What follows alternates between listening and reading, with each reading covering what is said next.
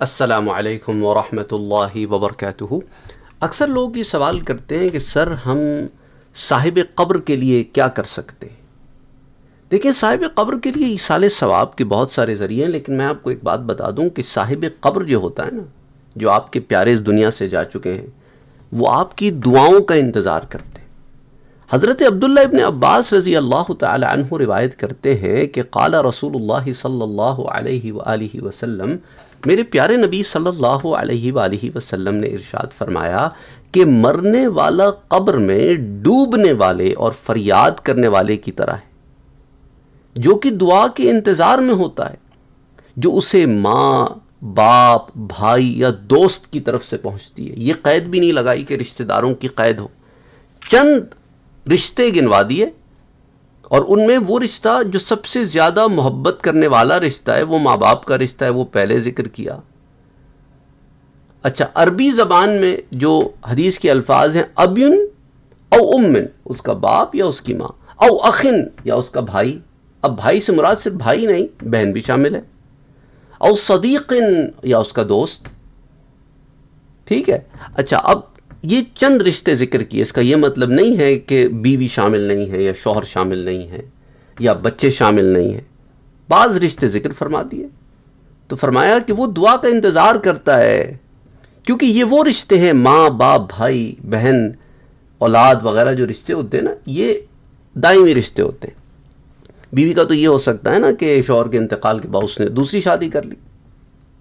तो बहरहाल तो हुजूर सल्लल्लाहु अलैहि वसल्लम ने ये रिश्ते उसके बाद फरमाया कि जब इनमें से किसी की तरफ़ से उसे दुआ पहुँचती है तो उस मैयत के नज़दीक दुनिया और इसकी हर शय से ज़्यादा महबूब होती है।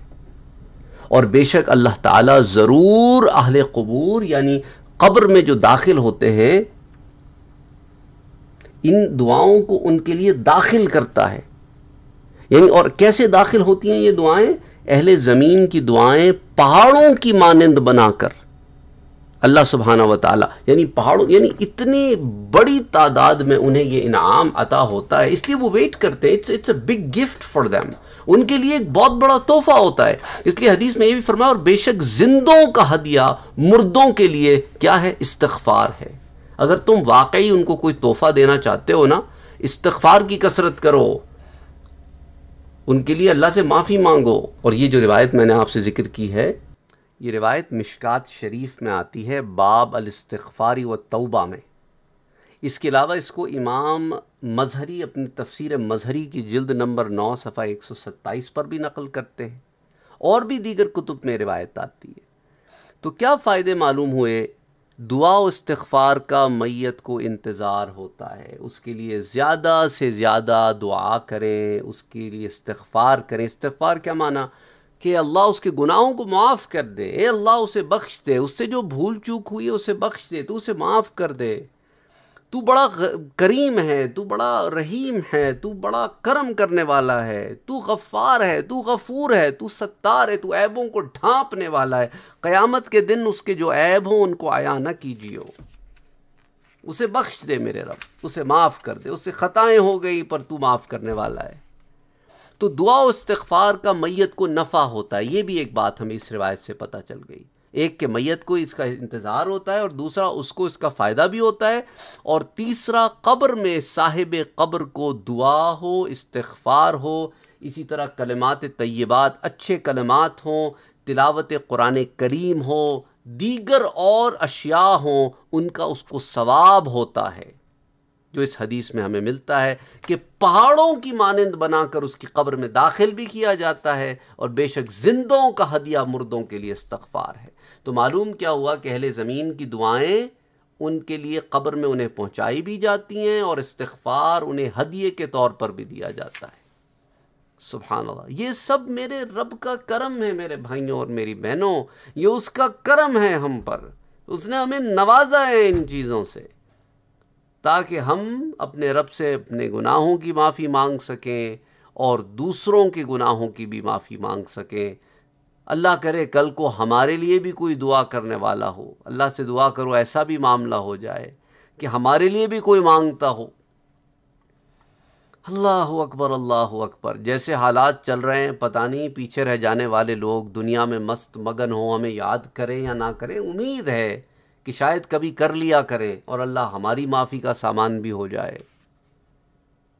और साथ साथ ये भी याद रखें कि दुआ इस्तफ़ार मुसलमान के लिए की जाती है। अगर किसी के माँ बाप या फौज शुदगान में कोई कुफ़ार हों तो उनके लिए दुआ इस्तफ़ार करना नाजायज़ है। तो बहरहाल, अगर किसी लाइलमी की वजह से ऐसी दुआ कभी कर दी किसी ने तो उस दुआ इस्तफ़ार का उस उस शख्स को फ़ायदा नहीं होगा बरज़ख में, ये याद रखें। और इस पर वो हदीस भी मैं आपके साथ शेयर कर चुका हूँ। सुनन नबी दाऊद की रिवायत थी किताबुल वसाया में, जिसमें आस बिन वाइल की वसीयत थी कि उसकी तरफ़ से सौ ग़ुलाम आज़ाद किए जाएँ तो एक बेटे हिशाम ने उसकी तरफ़ से पचास दिए और दूसरे बेटे अमर इबन आस ने इरादा किया कि उसकी तरफ़ से बाकी पचास दे दूँ और फिर हुजूर सल्लल्लाहु अलैहि वसल्लम की खिदमत अकदस में हाज़िर हुए और बात की सारी की सारी तो फिर हुजूर सल्लल्लाहु अलैहि वसल्लम ने वहाँ उनसे यही कहा कि अगर तो वो मुसलमान होता तो उसकी तरफ़ से ग़ुलाम आज़ाद करना तेरा, उसका तरफ़ से सदका देना, उसकी तरफ़ से हज करना, इन अमाल का उसे सवाब भी पहुँचता। अगर मुसलमान होता, वो तो मुसलमान ही नहीं था हमारे अपने आस, वो तो कुफ्र में मर गया। तो बहरहाल, अल्लाह सुबहाना व सब के लिए आसानियाँ पैदा फरमा। और याद रखो, इस रिवायत से जो मैंने भी आपके सामने ज़िक्र की है, उससे हमें ये भी पता चला कि हुजूर ने दीगर नेक कामों का भी ज़िक्र फरमाया। और इसी तरह आ, एक और रिवायत में आता है कि हुजूर सल्लल्लाहु अलैहि वसल्लम फरमाते थे कि सदक़ा व खैरात और रोज़ा हर उस शख्स को फ़ायदा देता है जो अल्लाह के वहदहू ला शरीक होने का इकरार करे कि नहीं है कोई मबूद सिवाय अल्लाह वजल के। और इसी हाल में फ़ौत हो यानी इससे मुराद अब हुजूर की उम्मत में ला मोहम्मद रसूलुल्लाह पढ़ने वाला मुराद होगा। Don't forget to like, share, comment and subscribe. To Sayyid Saad Qadri.